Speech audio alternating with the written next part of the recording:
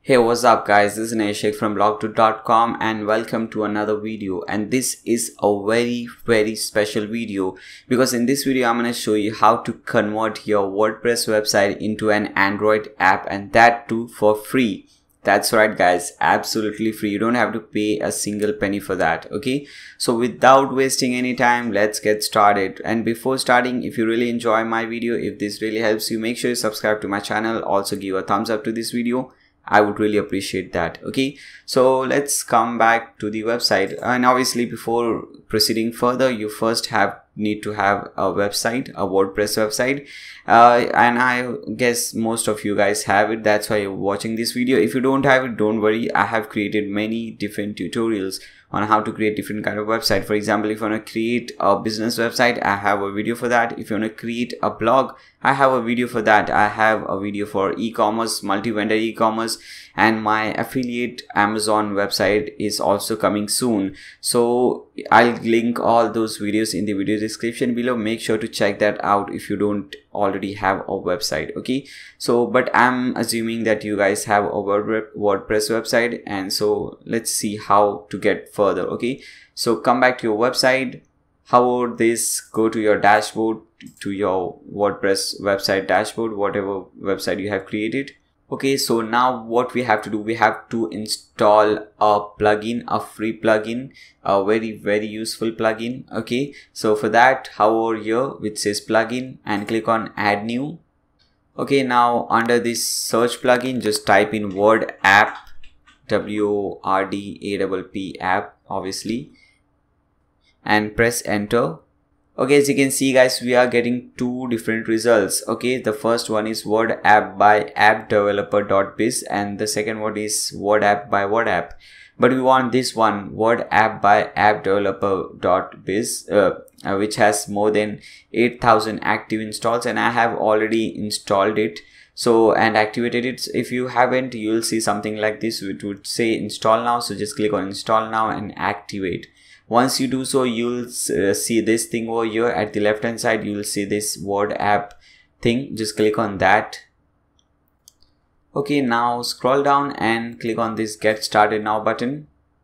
Okay guys here the main fun begins. As you can see uh, there is a you can see a you know a preview of your app how your app would look like uh, in mobile phone okay? And as you can see at the top uh, there is a header. I don't want that header. I want my website exactly to look same on uh, the mobile website. So what i'll do is first so let's start from top first. First one is uh, app toolbar co color. This is the app toolbar color. We don't want to change that because i'll be totally removing that section. Okay? That is just useless section according to me. You can give a name to your app. I will give it blog dude obviously. Okay app logo you can upload a app logo. I already have created a logo. You obviously would have your own logo. Just upload that logo. Go to upload files select your file and let me select that file. Here is my logo. Okay uh, it should be 51 by uh, 512 by 512 so 512 pixels by 512 pixels. Okay and click select this image and click on open okay now click on this select button. Okay once you do so just scroll down. And now as you can see we also can see our logo over here. Okay now let's scroll down again. Let's first see the preview of how our website looks like at present. Okay this is how it looks like. Let's scroll down.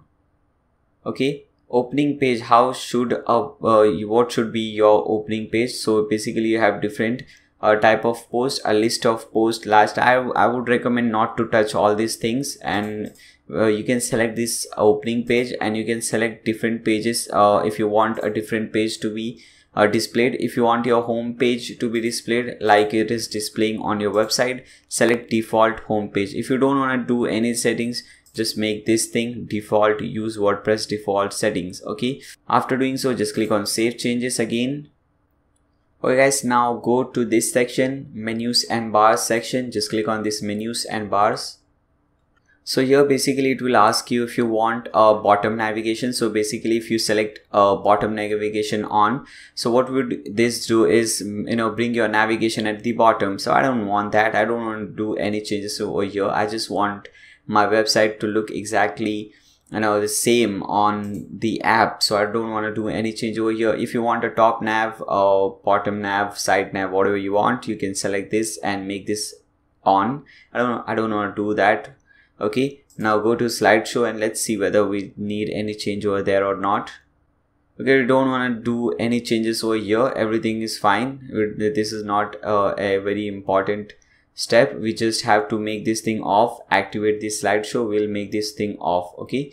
Now go to the last option which is the app structure and that is the most important option. So click on app structure. Okay now here again it will ask you for app icon so upload that icon which you just uploaded. Okay select this one this is the one which we just uploaded. Okay and click on this select button over here. So you should see that. Now the second option is an app splash. This is basically the image which comes uh, when you open your website uh, when you open your android app you see first uh, a, a page or an image comes. So basically this is that screen. You know so your image must be 640 pixels into 113 pixels uh, as you can see over here. So i have already created an image so i will upload that. So just click on upload splash.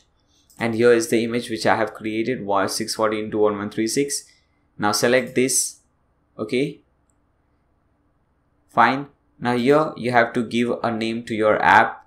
Okay so again I'll put in blog dude. Fine. App version will be 0.01 which is fine. You can give a app description keyword. You can select a category for let's select entertainment. You can also give some keyword and description to your app if you want okay? Now just click on save changes.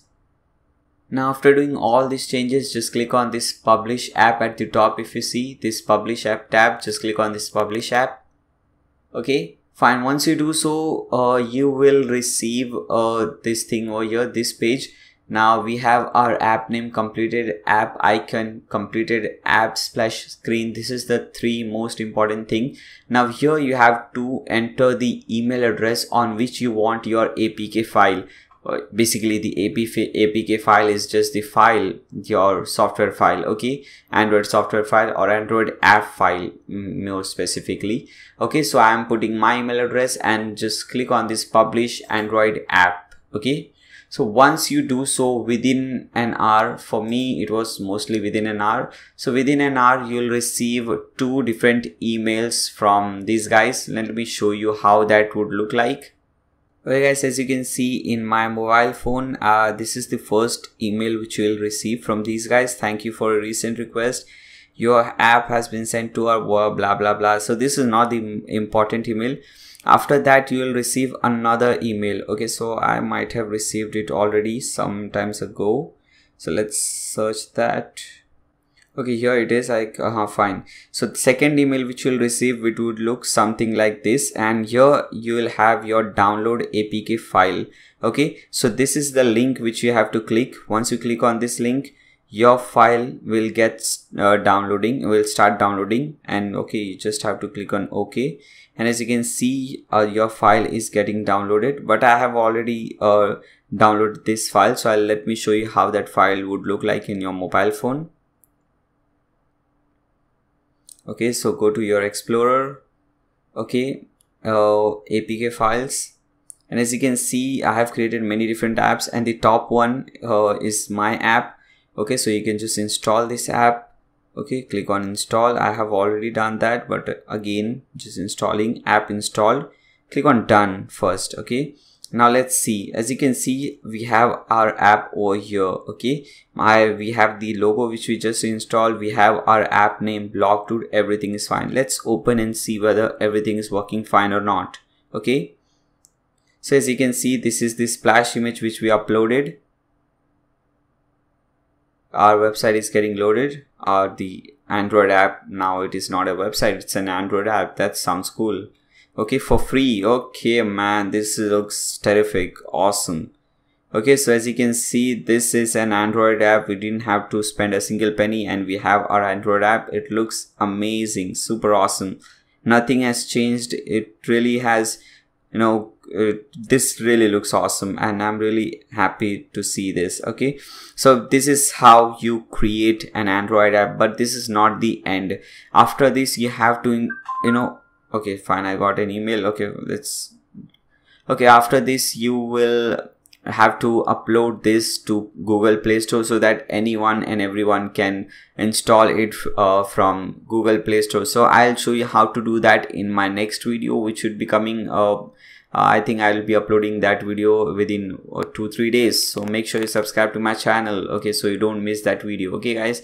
So for this video this is the end I guess. Uh, I've shown you how to create or how to convert your WordPress website into an app. And I hope you guys enjoyed this video. Make sure to give a thumbs up to this video and also subscribe to my channel. Thank you for watching